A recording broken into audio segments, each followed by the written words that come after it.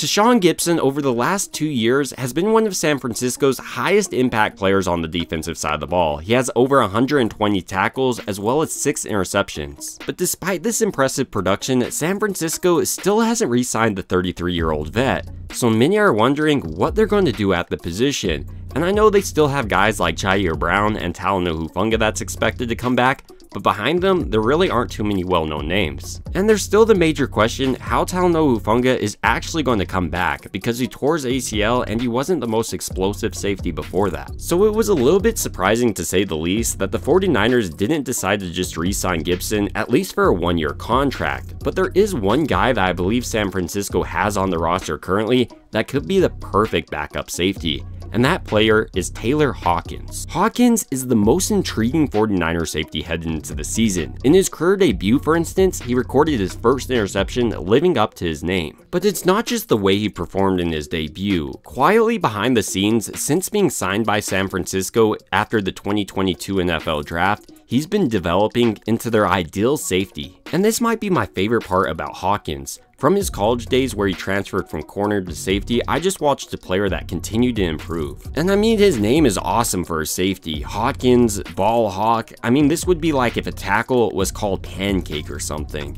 But is a name and some other pretty impressive skills make him a quality NFL safety?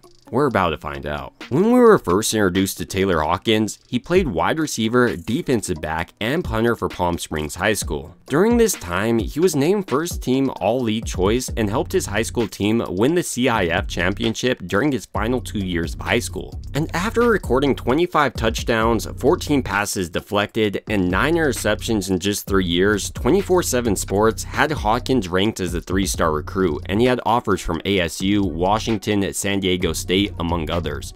Ultimately though, he did decide to commit to SDSU. As a freshman for the Aztecs in 2016, he redshirted. In 2017, he appeared in 10 games, but his true breakout year was 2018 where he played in 13 games but started 5 while recording 35 tackles and 5 pass breakups. And much like we've seen over his NFL career, Hawkins improved as a player over his collegiate career. During his final two years, for instance, in just 21 games, he recorded 100 tackles, 3 interceptions, 19 passes deflected, and 1 forced fumble. One of my favorite things about Hawkins in his college days is how great he was against the pass. Especially in man coverage, Hawkins would just have the ability to lock down players, and I think this really goes back to his high school days where he played a law cornerback. And as I'll point out later, this ability to cover man on man has also carried over to the pros, so I'm pretty impressed by that. Furthermore, he showed off great run fits in college, and while he didn't always make the tackle, I liked how aggressive he was in the run game. But there weren't just positives to his game. For instance, at times in college, you would just watch plays where his angles would be off, and he would bounce off some tackles.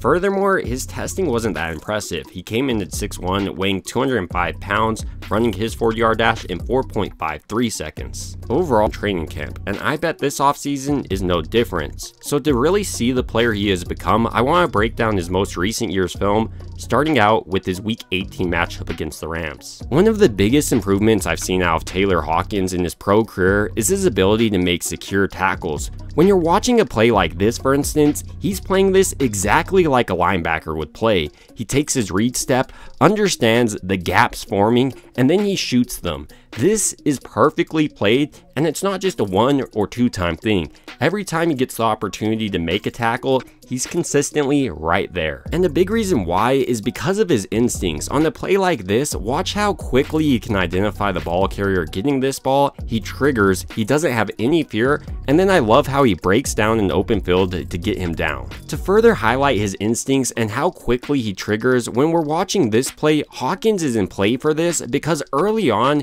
he quickly identifies that that's where Carson Wentz is going with the ball, and yeah, he gets a little bit lucky, but it's still a great catch. But it wasn't just this Rams game in which he really impressed me, so I want to briefly go over his preseason as well. I really want to highlight this play against the Chargers where he shows off that great man coverage I was talking about earlier. When you watch it from the end zone angle, for instance, you can see how Hawkins is basically running this wide receiver's route and it's pretty lucky this wasn't an INT. And it's not like it's a tight end or running back he's guarding, it's a legitimate wide receiver he's locking down. One of the biggest reasons why I believe he can be successful in the NFL despite not running a 4-4 is how quickly he targets and identifies plays. On this play, for instance, before this ball is even snapped, he understands it's going to be a wide receiver screen, triggers on it, shows no fear, and then blows this up for a zero yard gain. And when you pair that with how aggressive he is against the run, I think he's the perfect fit for San Francisco. He shows off very little fear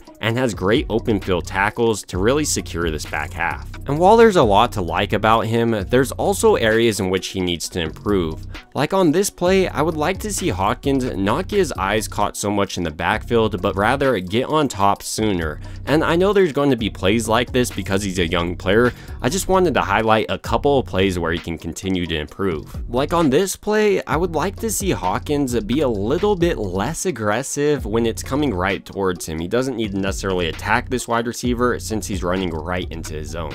Ultimately, while Taylor Hawkins probably won't start this year unless something terrible goes wrong, I believe San Francisco does have another solid safety in him but I also wouldn't mind seeing them draft another safety or even bring back Gipson for just one more year. I know he's 33, but that guy really seems like the Brady of safeties and extremely under the radar.